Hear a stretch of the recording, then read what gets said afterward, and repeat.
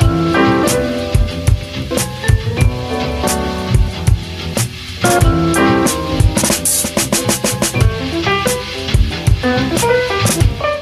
So this week I just thought it'd be fun to show you what a typical week in my life actually looks like living in Charleston. And this morning I had basically worked all weekend and it was Monday and I had a professor cancel class, which was the best thing ever. It gave me a chance to catch up on three loads of laundry, but I also baked pumpkin bread because self-care and I watched a couple episodes of Gilmore Girls because like every other person on the planet who loves fall, it it is my comfort show. I made this recipe from love and lemons because I didn't have like I only had olive oil, but it actually turned out pretty good. It may have tasted a little healthy.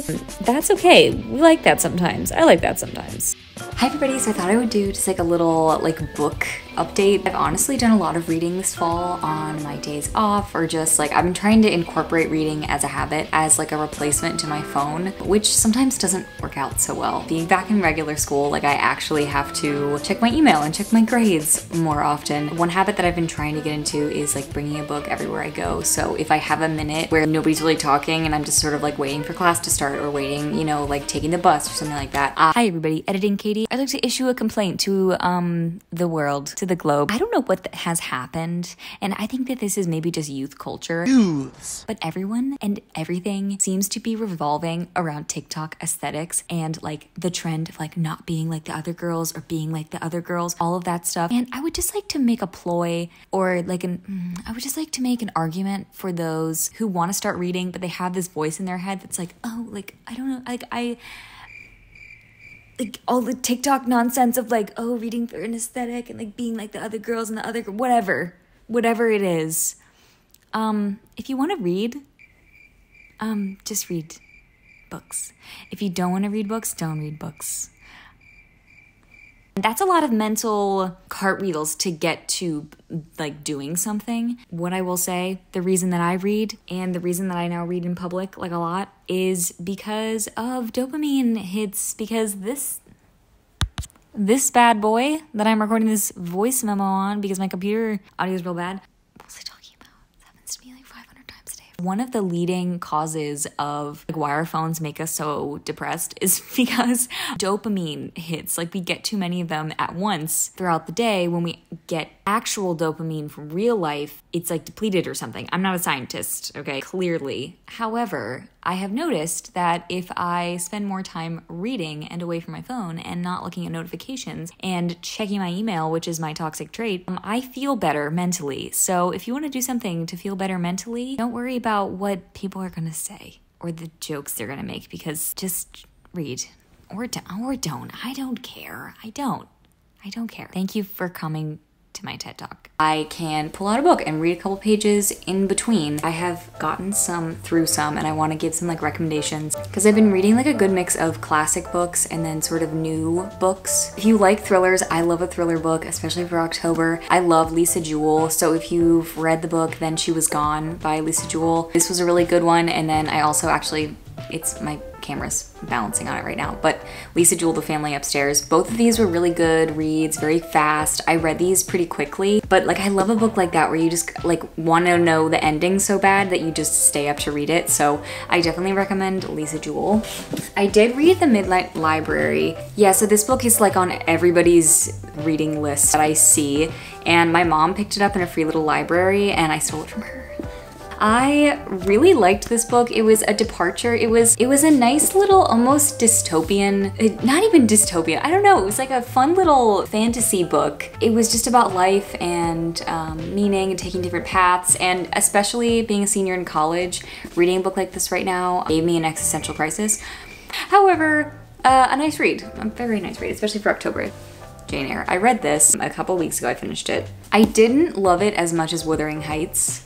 I liked that one a lot more. I loved Wuthering Heights. It was, if you ignore the fact that everyone's like a little bit related, it's a really great read. I read it at the beach and it was just like shocking. I didn't know anything about it. So every single page I was just like, oh, oh my God.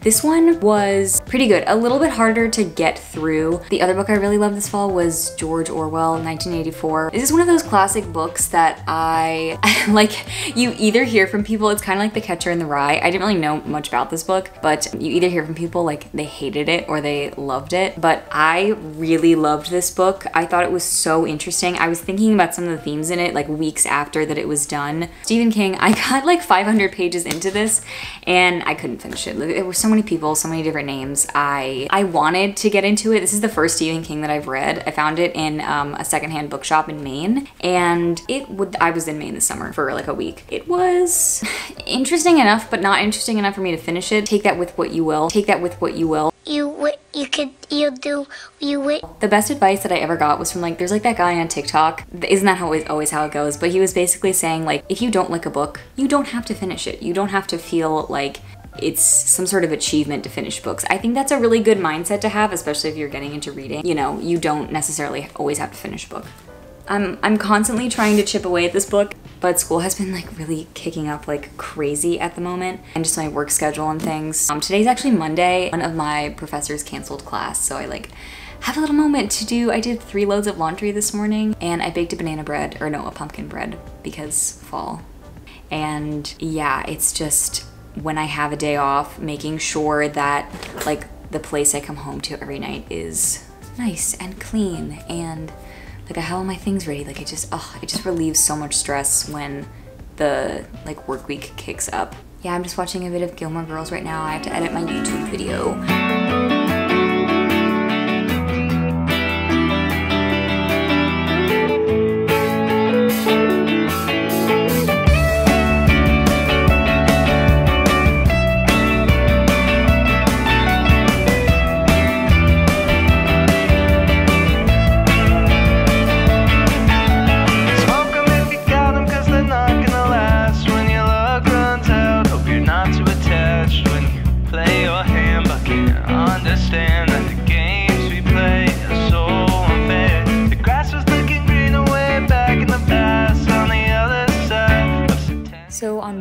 I had a bunch of classes. So here I am coming from class in the bathroom because, you know, vlogging in public's weird. And um, I basically just did a little homework in between classes here.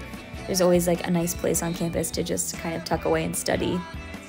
And then when I got home, um, me and my roommate watched Bachelor in Paradise because sometimes when you're studying a lot, you gotta take little breaks to watch trash television. My very, this is my very, very exciting life. And I did make a chili. Did I eat chili for six days after I meal prepped this? Yes, I did. However, sometimes that's just how you eat healthy and have enough food throughout the week.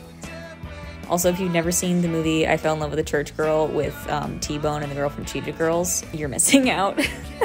and so at the end of the day, I obviously had completed a lot of tasks, as you can see throughout the day very like low grade things though. So I find that at night when I can really focus is when I do my sort of deep work studying or early in the morning. It doesn't really matter. Anytime you can just really focus on what you're studying.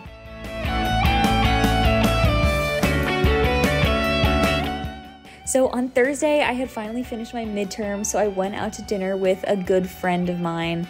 And then I just walked home, and it was really just a nice way to sort of end like the stressful bit of my week. The semester is going by so fast and there's a million assignments to keep up with, so it's definitely good to take moments throughout your day to enjoy yourself and have a little bit of fun. Thank you guys so much for watching and subscribe if you want to see more. Thanks.